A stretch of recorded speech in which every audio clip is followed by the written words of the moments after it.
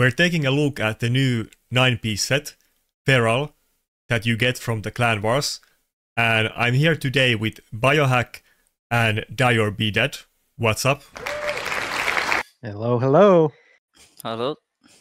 So, I was kind of talking about this on my live arena videos as well, but big part about Clan Wars, if it's gonna be hit or miss, is that the rewards need to be good.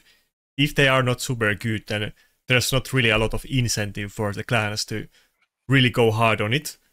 And now we finally know what the what the rewards from it are. I mean, you're gonna get like Chaos Ore and Primal Shards and so on. Basically the same rewards as on both CVC and Hydra Clash, but it's with a new item set. It's not gonna be with Swift Parry or Deflex and accessories that I was hoping for, but it's with this new 9-piece Feral set that has some interesting effects. Can you show the like the one and two piece set bonuses, the text file? But ba- basically, like you get uh, 40 accuracy from one piece, 5% speed from two piece, another 40 accuracy from three piece, immunity buff for two turns from four piece, 5% speed from five piece, and you have 50% chance to be immune to sheep from polymorph at 6 piece, which is going to be very interesting. 7 piece, another 40 accuracy. 8 piece, 5% speed. And 9 piece, it's basically reverse version of protection set that your allies deal more damage per debuff placed by this champion. So that makes this set very strong, something that I think we will see a lot on debuff champions like Galathir and so on, though it does have a lot of competition with Stone Skin set. Basically, Stone Skin set because Bolster is dead. But what do you guys think about it? Maybe yeah, starting... I mean, first off, oh, yeah? go ahead. no, no, I was gonna say that starting from you because you guys were not not talking. no worries. Go ahead. Um, I mean, first off, the stats are insane. Like 50, 40 accuracy and five percent uh, percent speed for a two set bonus, you know, that's basically perception set right off the bat. And perception set is already one of the best sets for stats that you can get in the game. So that's pretty awesome. Um, I I mean this the set seems very very strong, right? Like already there's a strong argument to put, you know, your go first lockout style champions, whether they be, you know, Krixias or Yumeko or whatever, um, in perception if you can pull it off.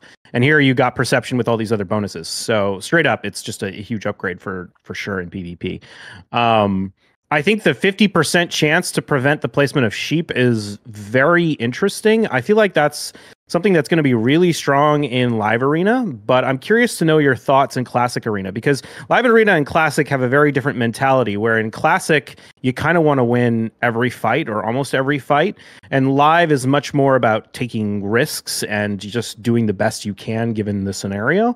So that 50% chance might be a risk you're willing to take in live whereas classic you might not still see a ton of uh, debuffers but i'd be curious to know the rest of your, your guys' thoughts. Also that nine that five percent uh, nine piece. Uh, in addition, it's going to be really interesting to see whether that is uh, a universal buff for the buffs placed across the entire enemy team, or if it's specific to the target. So if you put up, you know, decreased defense in Hydra, is it one count for every single Hydra head, or is it you know just the five percent on that one particular head when you hit it? So that's going to be interesting to see how that plays out because that will make a huge difference in terms of how strong that nine piece is. Okay, uh, I, I agree with you, uh, Biohack, but uh, regarding the, the the polymorph chance and the set in general, uh, I personally think it'll be extremely strong on classic, especially on defense, uh, because uh, there's a lot of champs like Galathir we're seeing on on defense nowadays, uh, and Krixia and Armanz and stuff like that. And uh, Galathir's biggest weakness is is actually getting sheeped in on uh, classic defense, particularly because mm-hmm. he's already very tanky and he has different passives to keep him alive. And a lot of the mythical supports are just generally pretty tanky. So uh, they're not gonna get one shot anyway, and so they don't necessarily need Stone Skin. So putting them in this new set will mean uh, it's more likely to get you defense wins uh, from locking people out, and then even more interesting for live arena because uh, obviously on as Biohack was saying on uh, certain people that run very fast teams, you don't necessarily need uh, Stone Skin because obviously on the set it's important to note you can't run Stone Skin and six piece because I think that's why they made it six piece so you can't have the stone skin along with this bonus, which which is probably a good thing. But uh, in LA, if you're one of those players that likes to go first, this will be by far the best set for any debuffer. Armanz, Krixia, Galatea, everything. And I think it'll maybe push the meta even more towards speed and, and less stone skin. And one more thing to note about classic uh, defense is that at high, very high level uh, on reset, uh, immunity is actually becoming well has become quite meta recently, and this set actually has two turn immunity as a four set. So on certain champions on defense, if you can have the the six piece, it also includes immunity, and it's just gonna be by far the best set on on reset, in my opinion. And then I guess the last thing to note is the as Biohack said, we're not sure how it's gonna work with the nine piece bonus with the per debuff if it's per champion and per head and there's so many things to keep in mind but I guess the Hydra people will calculate that pretty soon. Yeah, what I would say about that is that, like, first of all, you could, like, you can't run it with Stone Skin, and I'm sure Plarium did that intentionally because, you know, having Lethal and Stone Skin, or you can pair many other 4-piece sets with Stone Skin, and that's super strong, and they probably don't want people to be with 4-piece Stone Skin 100% of time but you can still you could still go for five piece and get a lot of stats and the immunity and still go with stone skin just because you get so much accuracy and other stats. I don't think that will be that popular but you could do it and it has very good like set bonuses even just one piece or two piece so i think that makes it a little bit more attractive for like early game players and you know people people that are not super end game and thinking about like Platinum Arena or Live Arena. But I, to, to what Biohack said about the fact that the meta is different in Classic Arena, I agree it's not that big deal there. I think you maybe put it on like one champion for defense. It's not like you need multiple champions on that set, but everybody is pretty much running Krixia or Galatea. I mean, one of them or both of them. So you maybe you put that champion in this set, and then you have everybody else in stone skin like you used to before. But I think the big issue here, like I think it's definitely gonna be popular in like top arena, but is this set really worth for other players who are not pushing platinum or top level live arena? Is it worth enough to do like uh, focus hard on clan wars to get this set? What do you guys think about that? Oh, sure. I was just saying the stat bonuses are really good. You know, it's basically perception, and then you're also going to be able to combine that with any accessories you get. So imagine, I mean, just like getting a single ring, getting 40 accuracy in your ring slot for just putting on one ring. Like that is a huge amount of stats that you can get just ignoring, you know, any of the other set bonuses and that kind of thing. Um, so I think there's going to be a strong incentive for people to use it just like this. And even new players, I mean, one of the things about new players is you always struggle to get enough accuracy and speed um, just to do early dungeons and that kind of thing. Uh, and so just getting into um, faction wars and just picking up some of that, even like four piece perception stuff can make a huge difference just because the set bonuses are so good uh, on those perception sets, and that's basically what this is acting like. So I think, yeah, even for new players, especially before you get your Great Hall Max and you really struggle to get enough accuracy, this is going to be a, a really easy way to just get a bunch of those stats for sure on your early champions. When I was yeah. looking at Reddit earlier today, they were not not really super excited about this content, and they were basically saying that it's just a lot of work for nothing and it's not super interesting. That's kind of what I'm afraid of. That if it's only very small population of the players that actually care cares about this content, it might be kind of issue for clans and it might not be a good thing for the game if this game mode totally flops. Yeah, so I guess that can take us to the to the next the next thing, right? Uh, to incentivize sure. new players, uh, they have to give give us shiny new things like a, a champion, avatar, primal fragments, stuff like that. Obviously, the rewards are a bit questionable. I mean, the, the first thing we noticed is oh yeah, why are tier three and four mm. rewards better than tier five? I mean, shows that players maybe a bit out of touch, uh, thinking that yeah. five star gear is better than.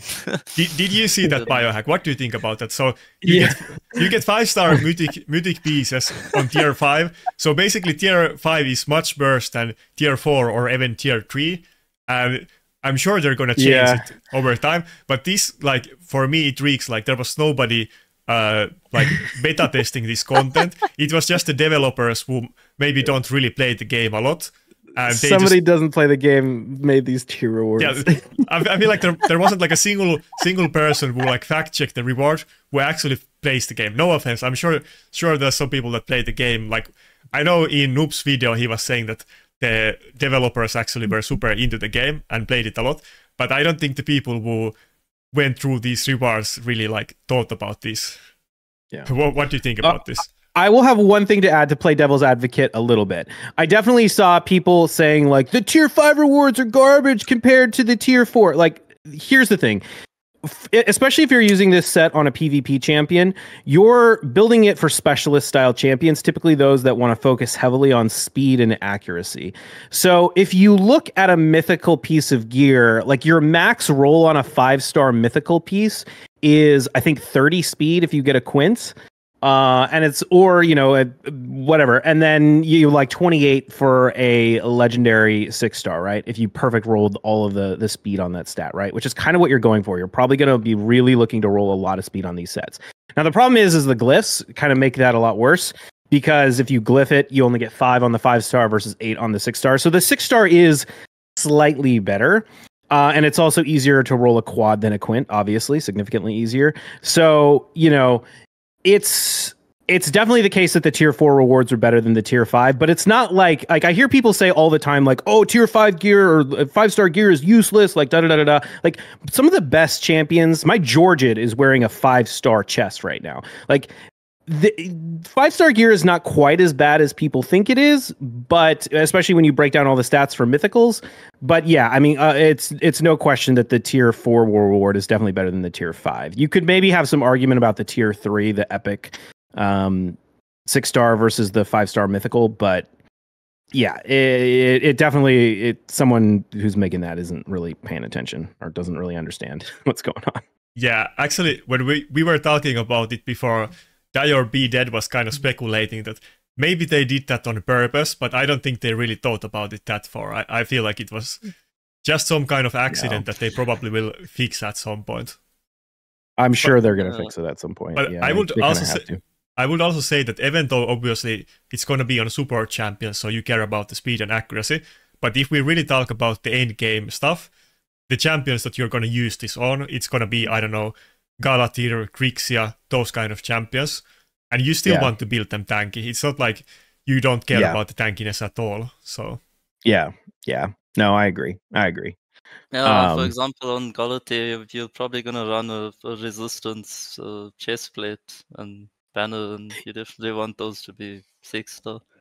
Yeah, Galathir especially because he's he's a tanky reviver champion. Yeah, Mm. Krixia. I mean, a lot of times you use Krixia as a go first lockout, and if she she doesn't need to be as like she's not there to like really survive and revive your team in the same way that Galathir is. Like you want her to be tanky, but I would say it's far more important for a tanky Galathir than a tanky Krixia.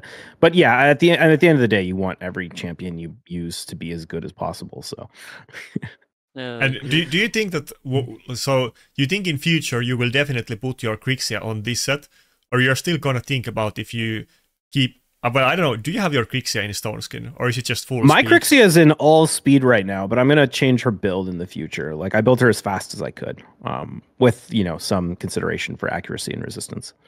Yeah, I Um, think usually when when you see them in a, let's say classic arena defense and even in live arena, but you know some people might have multiple copies of her. But I think usually I see them in four piece stone skin. Yeah. I think in defense you definitely want Stone Skin for sure. Um and yeah, even even offense. I mean it depends. Like the thing about uh Acrixia is she can be a speed threat by herself, right? Um whereas like other champions like your arbiter cannot be a speed threat without a follow-up champions that are speed tuned with your arbiter, right? Uh Acrixia if she goes first, she can mess up the other team all by herself, right? So th- there's kind of two ways to build her, which are either speed or stone skin, and stone skin is probably the more popular one, but both can work. It just depends on what kind of stuff you're doing. Yeah, I agree. okay. Do you wanna to I will definitely put my Krixia in this set as soon as I can, for sure, because she's so vulnerable to polymorph too. Okay, Uh, yeah. Continue.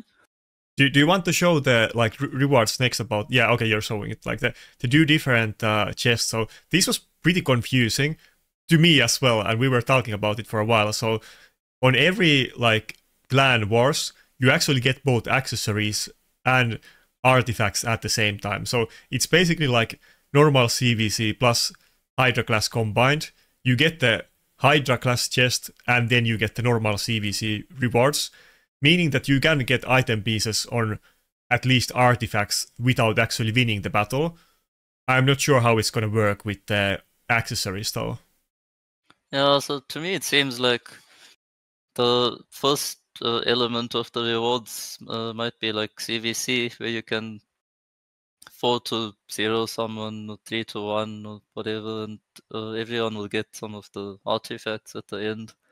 That's what it, it seems like. But to get the Um, victory chest, you have to win. It seems right.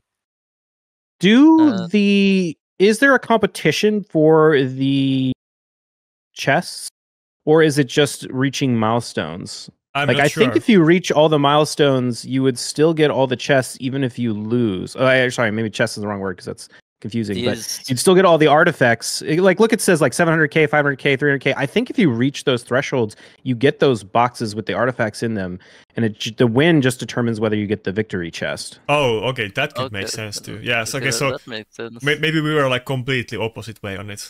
Yeah, So in, in that case, uh, I could be wrong. I think that's what they said. Though. yeah, that that sounds logical. It seems like it. Yeah, so in that case, it seems like they're locking accessories behind winning and just giving you the artifacts for, for Yeah, getting and the milestones. It- and you know important accessories can be. yeah, and it's gonna be interesting to see like how this affects the like competition that in like um, in normal CVC people are making deals and dodging good clans and so on. And we have thought about you know just switching the clans completely for Hydra Clash to get easier opponents. So can you game this system? Or and our clan actually our clan's actually gonna do it? I think that's gonna be a big deal because this i think many people are afraid that this content is going to be super time consuming and hard. I don't know if it's going to be time consuming just to do the couple battles but it's going to take a lot of like effort to like come up with the setups for the clan and so on and i don't think many people are going to be that much into it yeah. yeah, I The one thing I oh, go ahead. Oh, uh, I think uh, the, the main thing about it, rather than time consuming, is it's just gonna uh, require a lot of clan coordination.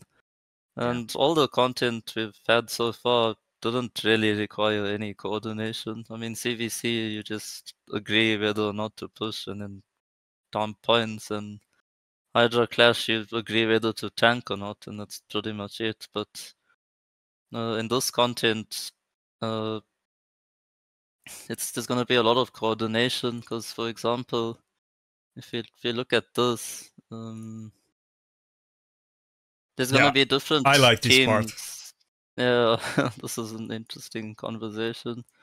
So there's going to be different teams uh, for different factions, and I mean you can look look at the video and see some of the options, but uh, I guess people will start getting ready for maybe faction wars teams for arena, and we'll we'll get Jenny will get into that just now. But something that's important to note is that uh, clan coordination will be needed because if your strongest players go early on, for example, and attack all the weak teams and then leave the difficult teams for the weaker players, then that's gonna cause a problem. And also the other way around, if like weaker players in your clan go and attack strong teams on the other clan and then lose, and you don't get like you use you lose your attack keys, Yeah. then that can cause you to lose as well. So yeah.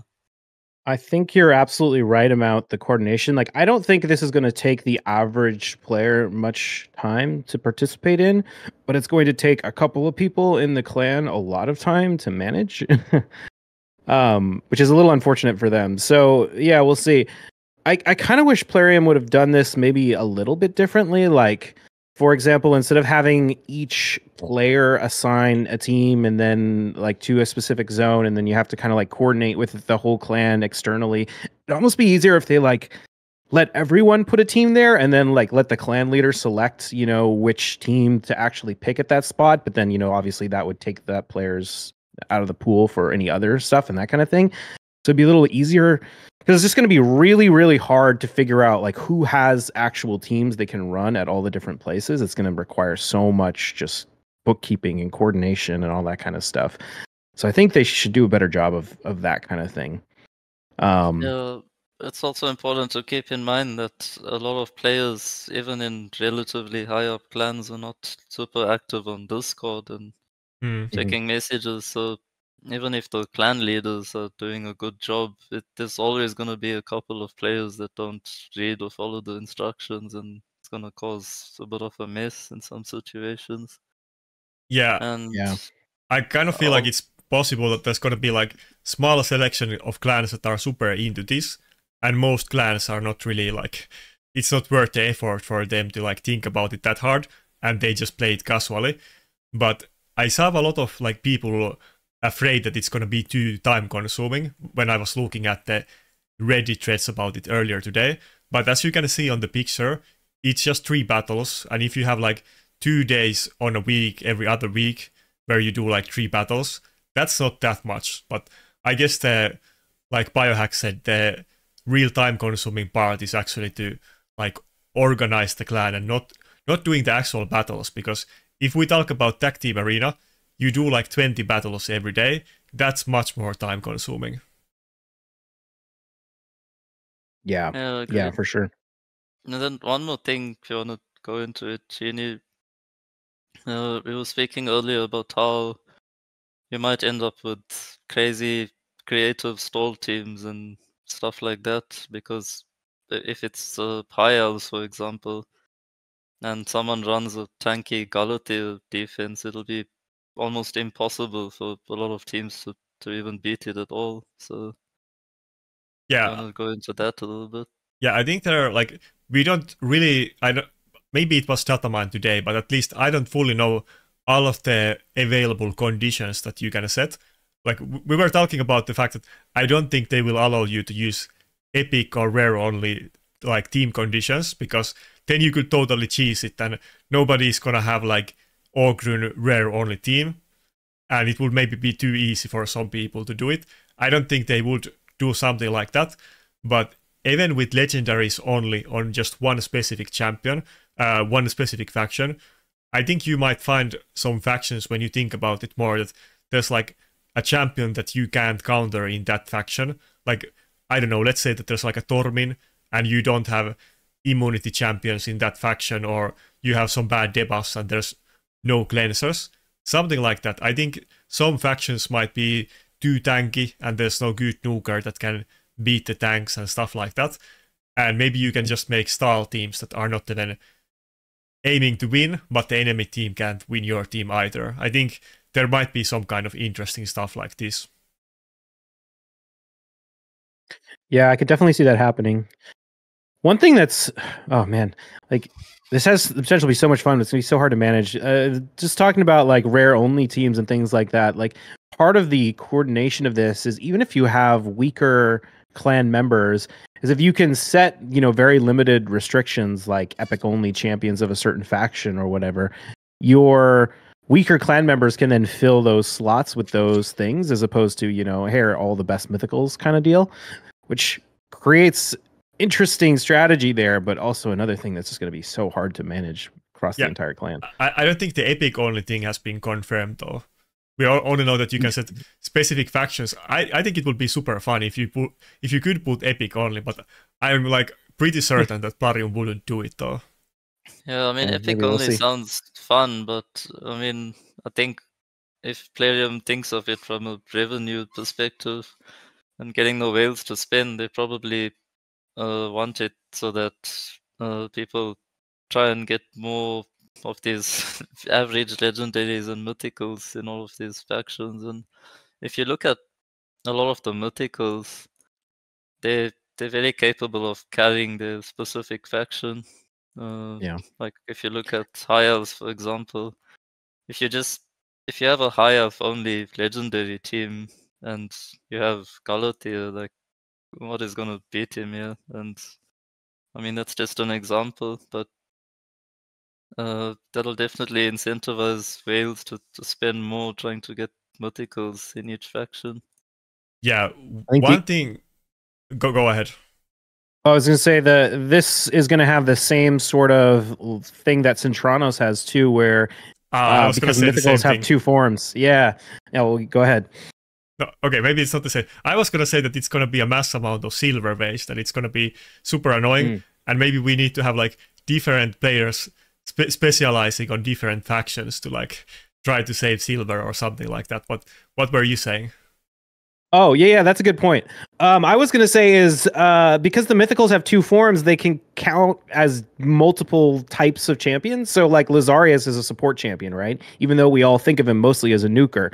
So mm-hmm. if you have a support only champion, but you're allowed to bring Lazarius, it's it makes those mythicals really really strong when they can essentially cross over as and fill you know be classified as something that they're really not you know what i mean yeah yeah and that's probably like you know intended and like a selling yeah. point for plarium because just like Die or Be Dead was saying that they probably wouldn't do epic only rules just because that would kind of not incentivize players to spend money on this game mode yeah yeah, but Centranos almost... does the same thing in terms of um, uh, like the support classification kind of thing that makes mythicals really strong there as well. Yeah, um, but we do like have. Nothing... Oh, oh, go ahead. Sorry.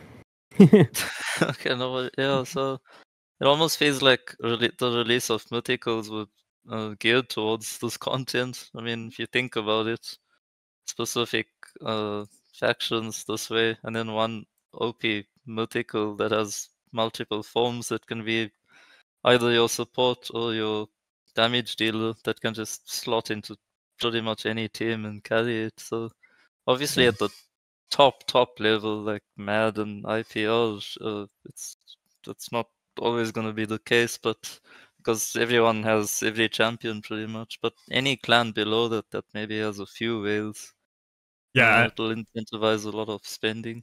I, I think those clans, like if we talk about IPR and Mad for instance, I think this is gonna be a good way for Plarium to like, you know, sell all of the new champions. That every time they release like one OP champion in one specific faction, there is gonna be like arms race and they can do an early 15x event for that champion. And chances are that like those people that want to win every trophy every time, they will like, you know, have people people whaling for every good champion if there's 15x event for it. Yeah, absolutely. Faction Unity is also going to be really strong here as well. Mm. Yeah, maybe this is like a new avenue to actually use it because I feel like so far the faction Unity champions have not really been used a lot. They're kind of tricky Yeah. to use in, basically im- almost impossible to use in live arena. I would say impossible. In classic arena, like almost like it's possible to use them, but because you know you can like mix and like match like the, the best champions of random factions. It's kind of hard to get a specific faction team, even with an insane faction lord, to compete with those. But so far, basically, they have seen no use in any content. That new lizard looks pretty insane though. yeah, like for instance, like wasn't Aislinn the first faction lord that we got? And people were super Yeah, it hyped about it. Like that was during the Taras meta, and people were afraid that it's gonna make it even worse. But nobody really even ended up using Aislinn at all, even when you can Yeah. combine it with the Ukraine duo. Yeah. Yeah, now we're gonna. Be I saw people to try in live arena, and it was always like a, you know, a thanks for the free win because it just didn't Yeah, yeah. didn't work. so I mean, some people did finish like top twenty and top, top ten with those in classic arena, but it really wasn't a thing, and those same people would have would have done the same finishes with other stuff too. Okay, so but I think it will be really strong in the new region or in the new like when you're actually limited to factions, then they're going to be pretty Yeah. dominant, I imagine. yeah, and maybe like even if it's not like epic only rooms, but even if um, since it's just spe- faction specific room, I think it might be possible in this scenario that people will even use epic in some specific factions for some random reasons. That might be kind of interesting and like add some new like strategy and nuance to the game. I remember when Doom Tower was released, everybody was having a lot of fun like theory crafting new teams and coming up with new stuff. We haven't really seen that kind of stuff for a while. Did that for Sintranos, but yeah. Yeah, but you know, I feel like Sintranos is mostly about, you know, do you have silver to swap items and do you have champions on that specific room? And if you feel those conditions, then you can usually do it. Uh, one more thing we, we mentioned earlier is uh, Shini was speaking about how silver cost is going to be an issue with this because obviously we're going to be swapping our best gear around a lot. But I think uh, it's also good to note that uh, gear presets is actually uh, it's very good that we have it for this because without it, I don't even want to imagine swapping all the gear around for each team. So Yeah, that's going to be really true for sure. yeah. By the way, for sure is an issue. what so what do you guys think now that we have kind of uh, talked talked about it in more detail? Do you guys think that Clan Wars is actually going to be popular among the player base? I think people will definitely do it because I do think it's going to be relatively easy to do it in a casual capacity. Like you just kind of throw your stuff in and cross, you know, hope for the best. Um, so I think probably everyone or almost everyone will participate. Uh, in the same way, like you can't not participate in CVC, right? Like you're going to get points for your clan even if you don't try. Um, how? But I, I think most people probably won't take it that seriously. Y- yeah, I, I kind of meant it more in the sense that is it gonna be new like uh like uh Hydra or new Platinum Arena that there's like a good amount of players that are super into it, like you know maybe content creators making videos about it or like a big part of community trying to theory craft and making guides and stuff for it. I, Do you I think, it's gonna as- be big like that? Yeah, I think uh, from what I've gathered as one of the leaders in, in OC is that probably the the top clans, let's say top 100, 150 clans are gonna, I would say a good chunk of those are gonna take it quite seriously from what I've gathered and try to coordinate and uh, go for the wins. And of course, uh, like clans like Mad and IPL are gonna go take everything seriously and always go for every win because to compete in top plat, you need every everything pretty much. But I think what we might start to see below that, like, and what I'm already starting to see some speculation about, is that we might start seeing clans start to focus towards uh, some clans Hydra and Hydra Clash, and some clans this content and some CVC. Like we've already started to see that recently uh, in OC. Where some clans are focusing on some content, but I think uh, it's definitely gonna start splitting clans more because some players are just just dislike Hydra, and in spite of the rewards, they they don't want to really push too hard, and we might see the same situation. Yeah, so we, we might start to see clans split up and focus on specific content. Especially now with more and more content being added to the game, people might decide they only have time to hard focus on certain stuff and maybe do the rest of it casually.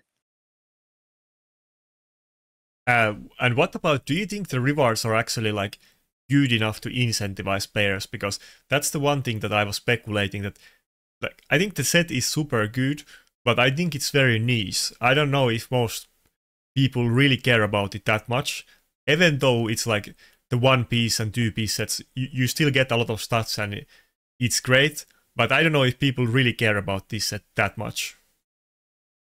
I mean, uh, as far as incent- incentive, I think, I mean, this is tier one, so the rewards look kind of garbage. But what does tend to incentivize a lot of newer players is a shiny new champion, for example. So even if it's a low amount of fragments, people will think out of FOMO they need to start going for this now because they want that champion. Or also the the fragments, for example, even though it's so low, which is actually a bit crazy. Uh, let's just say it's 30 fragments for tier 6 or whatever. Even if people don't care that much about the set, a large chunk of players in this game will be very attracted to the shiny new champion and and primal fragments. So I think there is more than enough incentive to to do it. And as you were saying earlier, Shini, there's very few content that gives you shards actually, and like for free. I mean, the last content we got that gave free shards other than primals was Doom Tower. So yeah, three yeah. years ago. By the way, Biohack, what do you think about the new champion? Because um, I think it kind of sounds interesting on paper, but I don't know if that's really going to be popular. I feel like it's only only good if you are like faster than the enemy, and even in that case, there's like other other options available. Yeah, um, I think she's going to be really good in Trunda reset teams. Like uh, she's you know like White Queen, or she's like Nia, but on you know way better. Um, that ability to reset allies turn meter and give 50% they like that she's going to be insane for hydra uh for like uh trunda hydra teams for pvp uh i i probably wouldn't use her and i mostly run go first um like i feel like they you know they're all hyped about intercept and they're making a big deal about intercept but it's just like one ta- ally two intercept stacks if it great gave increase attack or something maybe i don't know like yeah, or did a revive or something like that. I agree. I uh, think yeah. the, the CEC and the fact that it can't get polymorphed is good and it's clearly made to appeal for like PvP players, but I don't think she actually has enough to make it worth using in Arena. Also, another thing that we were talking about before is that it seems like there has been a clear um, intention from Raid recently to try implement different counters to polymorph the intercept stacks like counter polymorph, and then this champion is immune to it, and then the new item set has a 50% chance to be immune to it. I would not be surprised if we get other champions or other effects with uh, some kind of polymorph counters in like in the near future as well. Yeah, I feel like sooner or later we're gonna get a turn meter boost champion that gives like team wide turn meter boost with intercept and something like that, and that would kind of really let you run, you know, your bombers or your your yeah, yeah, that kind of thing. Yeah.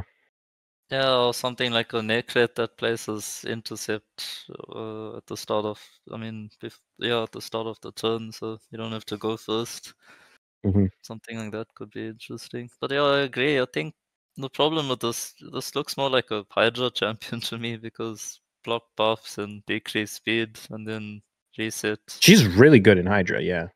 Yeah, but for PvP, the problem is, especially in high live arena, uh, everyone runs stone skin, so like pulling her super fast and going first is gonna do pretty much nothing, right? Even though she's uh, immune to sheep. I mean, you're not. At least if it, it would have been a lot better if she buff stripped first and then did this. Then might have been a bit more usable. But Yeah, I, I think you're just stands, you're just better off using Galathir or Krixia and putting the new item set on those and hoping that you don't get polymorphed. I think that's about it. Yeah, agreed. Or But, even okay. Ramantu with the new set would probably be better than this.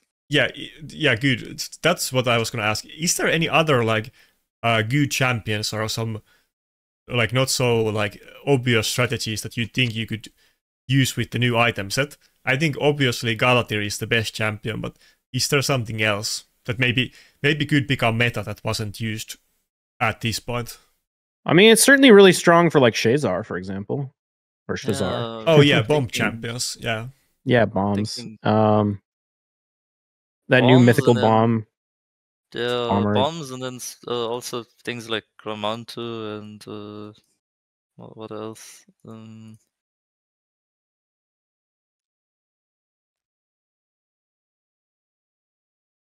yeah, I mean even potentially some of the no, not nukers. Yeah, I don't know. Mostly bombers and certain niche debuffers that we use sometimes, like Ramantu. I think will benefit from it. I mean, it's also not a like we could see it get used on um uh, Mithrala and stuff as well for the immunity even more than like the the it, it's a pretty interesting set on Mithrala because it gives you all that accuracy which obviously she wants. It gives her the immunity which a lot of times you want to use Mithrala to counter bombs specifically Hmm. or you know just be your cleanser. And then it also because she puts up so many debuffs it can kind of help against um potentially getting polymorphed with her. So I don't know. yeah, Yeah, it- against it's a, it sounds a great like like great set for Mithrala. I don't know if Mithrala is that uh, relevant in the meta though. Like Yeah, nobody really uses her. Well, people use her against me when I run like double bombers, but only Yeah, as like a I- last pick to counter my bombers. That's it. I I use Mithrala, but I I feel like she's not really up up to the times and relevant in the meta. I mean, she used to be top tier for I don't know the first six months or almost the first year since she was released. But for a free champion, I would be shocked if she was like a top tier meta in PvP for many years in row. yeah. Uh, Anyway, is there anything else we wanna? yeah. Do we have any other things that we didn't bring up or any closing thoughts? Not for me. Good for now. Yeah. Okay, I, I, I guess we got everything done. I mean, it was a super long video, so th- thanks for both of you for uh, joining on the video. Do you want to, you know, chill for your channels or your clans and so on? Uh, sure. Yeah. Uh, Biohack TV on Twitch and uh, Biohack RSL on YouTube. Uh, and yeah, if any if anyone's looking for for a cluster to join, uh, OC as OC we have uh, one of the most clans in the out of all clusters in the game. We might be second or so to Oblivion, and we have every type of clan, and we work together well as a cluster. And uh, if anyone's interested, just join the Discord, and we'll find you a clan. Uh, so it's just Discord slash Omega Centauri. Okay, but by the way, here's a here's a, a a question at the end. How do you think? Like, this is completely irrelevant. But what do you think? Uh, what do you think are? Is this gonna be different? Like, let's say in Hydra Clash, the best clan is IPR for sure. It's not like even contested. And then in like cl- classic arena, it's like mad and it's completely uncontested as well. Wh- what do you what do you think is gonna be the best clan in this like game mode? Well, in my personal opinion, pro- probably Mad as well. It might be close Maybe. between Mad and IPL though, but I don't think anyone else really has a chance to You, compete with you, those. you you don't think like tnl can come from the sidelines and take the rank one slot or anything like that? No, I don't think so. Because I mean, they they have a lot of whales as well, but uh, it's uh, IPL and Mad has the most active whales and PvP players and drivers running those accounts. So, and this is going to require a lot of effort put into it. Whereas like GNL is good at CVC because they just you know spin and run CVC on Yeah. auto battles or whatever. But uh, One of the Mad th- and I- sorry. Sorry. Oh, I thought you were finished. Go ahead.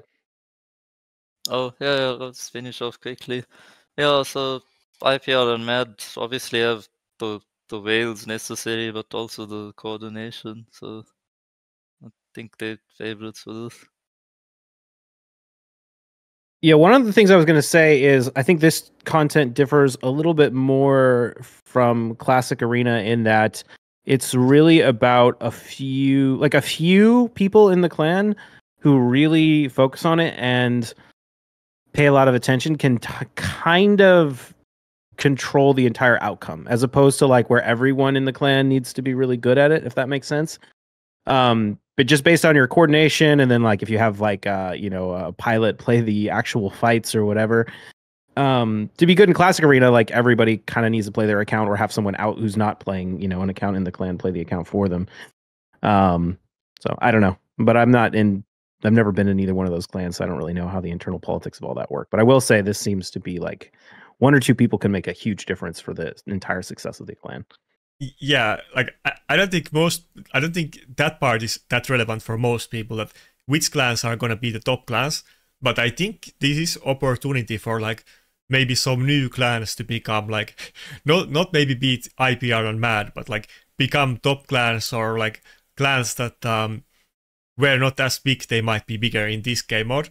Because like you said i think it's gonna come down a lot more like on the part of effort than let's say normal CVC where like I mean I guess there's effort but it's mostly about which side has more resources that they can put into.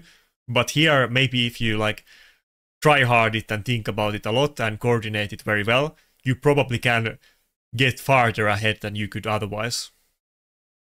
Yeah, but I, again I don't know if there's that many clans that are going to be super incentivized to try hard this content. Chances are that it's just going to be the top 100 clans like you said and the others are not even gonna care about it that much. You just do three battles two days in row and then you call it a day